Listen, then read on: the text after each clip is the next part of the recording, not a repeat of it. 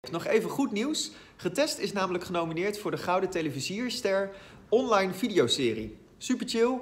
Heb je nou uh, genoten van al onze video's? Stem dan even via de link in de beschrijving. En uh, thank you.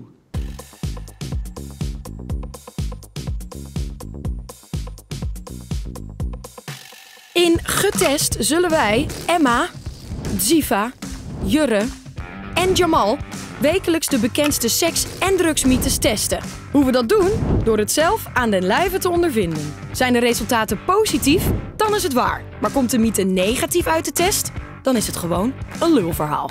En de mythe van deze week is... Nederlandse drugshonden zijn nep. Dus de mythe die we vandaag gaan onderzoeken is...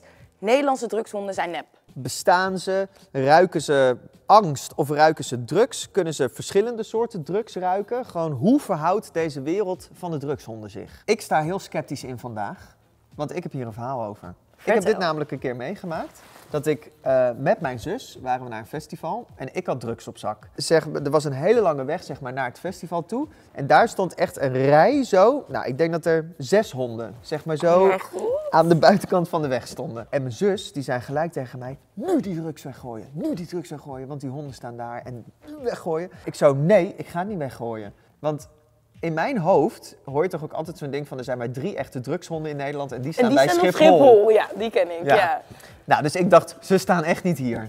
Maar je moet maar, pokerface houden, ja. Ja, dus wij hadden gewoon alle twee een zieke pokerface en wij lopen gewoon zo door die hele rij met honden en er gebeurde niks. Nee, maar het is ook best wel logisch. Ik bedoel, hoe moet je nou aan een hond zien of het een drugshond is of niet? Dus Ja. als ik bij de politie zat, zou ik ook denken...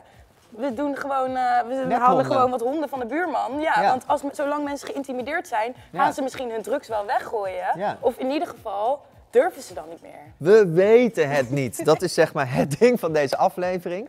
En daarom zijn we hier vandaag. Om zeg maar deze drugshonden mythe te ontkrachten of niet. Oh ja, en liken en abonneren toch? Oh ja, dat moet je sowieso Is altijd een dingetje. doen. Ja, doe maar. Nederlandse drugshonden zijn nep? Jawel, jawel zijn nep, hartstikke nep. Ik denk wel dat ze echt zijn. Je ziet ze toch? Ja, vaker onder de mensen hoor je dat wel eens voorbij komen over die mythe. Nou, ik denk dat die mythe gebaseerd is omdat mensen blijkbaar gewoon heel makkelijk drugs kunnen smokkelen zonder dat ze gepakt worden door honden. Toen zag ik ook gewoon live voor mijn neus dat de hond helemaal niks kon opsporen. En toen ging ik ook zelf helemaal stuk. Of de Nederlandse drugshonden nep zijn? Ik zeg ja. Nee, ik denk niet dat Nederlandse drugshonden nep zijn. Ik denk nu ik er zo over heb gepraat dat Nederlandse drugshonden eh, hartstikke nep zijn. Denk dat Nederlandse drugshonden wel echt zijn. Geen lulverhaal. Om vandaag voor eens en voor altijd uit te zoeken of Nederlandse drugshonden bij festivals nep zijn, hebben we een ware festivalsetting nagebootst. Door de drugshond zometeen aan drie testen te onderwerpen, gaan we kijken hoe goed zijn neus nou daadwerkelijk is. Vanwege je werk ben je onherkenbaar in beeld vandaag. Maar waar komt deze mythe nou vandaan? Op festivals heb je natuurlijk altijd vaak honden bij de ingang staan. En dan wordt er natuurlijk vaak geroepen die honden zijn nep van drugs of iets. Dat kan, want het kunnen ook surveillantenhonden zijn die gewoon er zijn om te laten zien dat er beveiliging is. Dus dat is daar een komt ander soort, dan misschien een ander soort vandaan. hond als een drugshond. Oké, welkom op Getestival! 2021! Oh my god. Ja, we mogen weer. We hebben een eh, klein festivalletje En om een festival binnen te komen moet je natuurlijk altijd eerst langs de rij. Ons enige doel natuurlijk vandaag is niet gepakt worden met de drugs op zak. Ja, en een van ons heeft de drugs. Ehm, laten we het gewoon gaan proberen. Laten we het testen. Leuk. De naam van deze serie. Poep, poep, poep. Hoor je hem?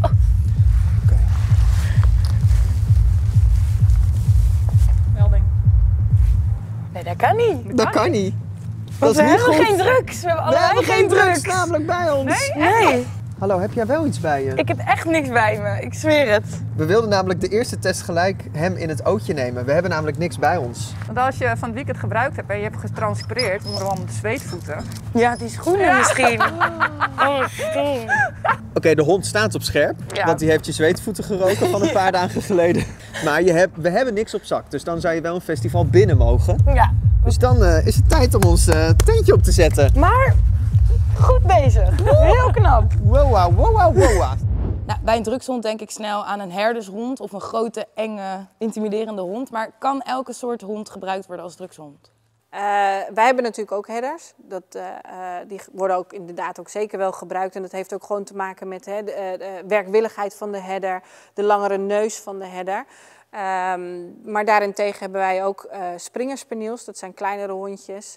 Eh, die hebben ook gewoon, gewoon goede lange neuzen, hebben ook echt die werkwilligheid. En, eh, maar zijn daarentegen dan dus gewoon iets minder, nou ja, zoals sommige mensen zeggen, angstaanjagend. Nou, we zijn binnengekomen op het festival.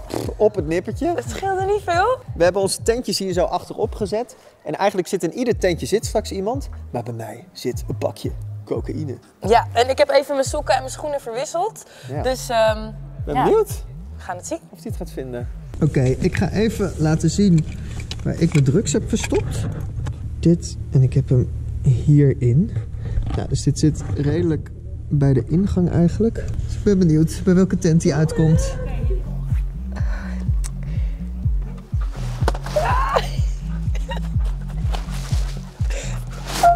snuffelen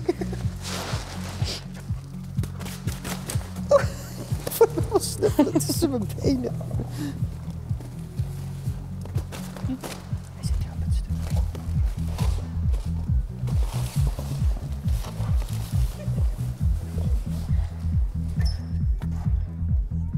Waar is die? Naast je. Hé, hey, maar dit is wel precies op de hoek. Ja, Heeft hij hem? hij heeft hem. Oh ja, ja, ik zie het. hij houdt ook echt de wacht gewoon. Nou, je bent erbij hoor. Tent, tent is geen goede verstopplek, dat weten we. En, en hoeveel drugshonden zijn er in totaal ongeveer in Nederland? Als je globaal gaat kijken, ik denk dat je op, op zo'n 70, 75 honden misschien door heel Nederland wel aan drugshonden kan. eh, kan eh, Maar waar komt dan dat hele verha- verhaal vandaan dat er maar drie drugshonden zijn en die staan op Schiphol? vertel mij het maar. Ik heb geen idee. Oké, de resultaten. Ja, want toen we het festival in probeerden te komen, dus test 1 eigenlijk, toen wilden wij eigenlijk die hond pranken. Ja. Maar die hond heeft ons geprankt. Ja, dat, was, dat vond ik echt heel lijp. We waren echt alle twee flabbergasted. Ja. Want hij rook gewoon aan jouw schoenen dat jij een paar dagen terug had gebruikt. Ja. Terwijl we niks op zak hadden. Maar bij de tweede test hadden we twee tentjes. Nou, jij was helemaal clean. Je had je schoenen en je sokken veranderd. Ja. Eh, Jij in had. mijn tent lag de sos. ja. Nou ja, poep. Daar ging Recht gelijk erop af. naartoe. Ja. Ja. Maar we hebben nog één, we hebben nog één summum wat we kunnen testen. Een ultieme test. Want ze ruiken het omdat je de drugs uitzweet. Ja. Dus wat we moeten doen, wij bouwen een feestje. Ja. Ik neem drugs. Jij Ik blijft niet. nuchter. Ja. Dan gaan we heel hard dansen. Zweten. En dan kijken of die hond het ruikt. Dus. Tadadam. nou, daar ligt het alweer klaar Ja. voor je. De kook. Nou, dit is de kook. Ehm, en eh, de hoeveelheid is afgemeten op mijn lichaamsgewicht en op het feit dat ik een vrouw ben. Ja. ja, en natuurlijk gaat Jeff niet eh, snuiven zonder toeziend oog van Mark O. Ja, we hebben Marco vandaag. Ja, daar gaan we. Ja, lekker feesten. Oké, zit hij erin? Zit erin. Ja. Zit Tijd lekker? om te feesten. Ja. Hit the dance floor, baby.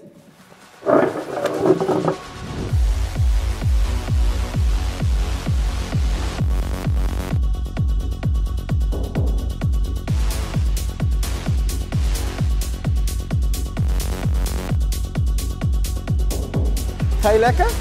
Ja, ik ga, ik ga toch? Ja? Ja. En voel jij iets van de kook? Niet echt eigenlijk, maar ik denk ook dat het wel een beetje is uitgewerkt inmiddels. Maar dat is juist goed, want dan komt het door mijn eh poriën. Ja, en dan kan hij het juist ruiken. Oké. Nou, maar hopen dat er dan geen drugshond komt. Dan ben ik erbij. Uh-oh. De hond is gaande. Ik word besnuffeld. Ik word besnuffeld. Niet op een goede manier. Hey! Oh ja, heel snel. Wow, dit was echt Ik had lijpsnel. er Oké, echt geen schijn van kans gewoon. maar biecht het maar even eerlijk op. Oké, ja, ik heb, eh, ik heb een beetje kook genomen. Oké, dit is echt heel duidelijk. Ook test 3 ruikt hij gewoon de drugs. Ja. Uit mijn poriën. Moet je het nagaan. je ademt kook. Oké, maar stel dat je 10 festivals hebt. Op hoeveel festivals zou dan mogelijk een drugshond staan? Dan zit je op minder dan één, denk ik. Gewoon, Dus dat is heel weinig. ja. Ja, en, en je, zei, je hebt het over opsporen. klein. Dus eigenlijk die honden die aan de, eh, bij de ingang staan, dat zijn eigenlijk bijna nooit drugshonden. Eh, nee, het, het, zijn, eh, 9 van de 10 keer zijn het uh, surveillancehonden, dus geen drugshonden. Deze uitkomst. Ja, echt veel nieuwe dingen geleerd. Dat is mooi. Dat is ook heel belangrijk om dingen te leren. Ja, toch? Ja, vind ik Ja, dat dat ik zegt. even gezegd hebben. Ja. Maar wat kunnen we nou zeggen over de mythe? De drugshonden in Nederland zijn nep. De drugshonden in Nederland zijn zeker niet nep. Nee. Maar er zijn er bar weinig. 75 voor een heel land. Ja. En 1 op de 10. Ja, dus dat betekent dat de honden die wij vaak zien staan op festivals, dat zijn Waarschijnlijk. eigenlijk neppe drugshonden. Want het zijn eigenlijk bewakers, bewakingshonden. Er is nog steeds een kans dat je gepakt wordt. Ja, maar een Maar hele kleine kans. klein. Nou, Positief. en dit is de allerlaatste mythe van dit seizoen. Thanks voor al jullie input, voor leuke ideeën Ja. eh, van mythes die we moesten testen. Heel lief. Maar in ieder geval, deze laatste mythe zijn Nederlandse drugshonden nep. Is officieel. Negatief getest. Hij is echt negatief getest. Ja, want ze zijn gewoon echt, ze bestaan. Ze zijn echt, ze bestaan. Maar het zijn er niet veel. Het zijn er niet veel, maar ze bestaan wel echt. Ja. Wauw. Zullen we dan afsluiten met een slokje uit deze kan? Ja, laten we dat doen. Geen idee wat het is. Godverdamme. Het is GHB. Nee, het is gewoon hele Nee, zoete eh. limonade. Tot volgend seizoen. Love you, thanks voor het kijken.